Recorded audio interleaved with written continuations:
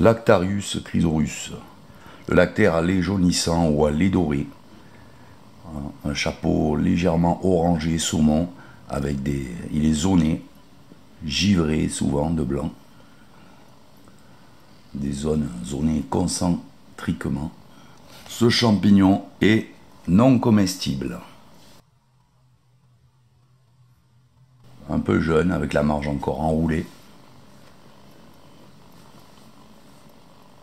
Les lames, caractéristique d'un lactaire.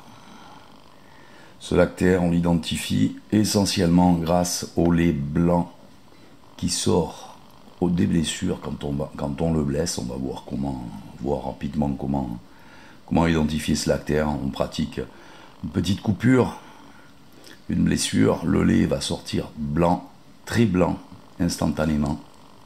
Voilà. Puis il va se mettre à jaunir euh, au bout d'une minute. Généralement une minute, ça dépend en fait de l'épaisseur du latex.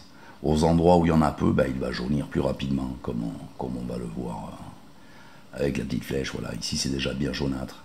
Et pour accélérer l'identification, une coupe transversale et comme le, latex, le latex pardon, par endroit va être bien, bien étalé, eh bien on va voir, euh, on va voir qu'il jaunit très rapidement.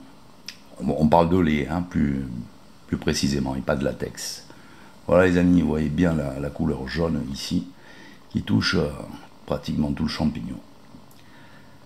Au bout d'une minute max. Voilà les amis, je vous dis à bientôt pour une prochaine vidéo. Ciao ciao.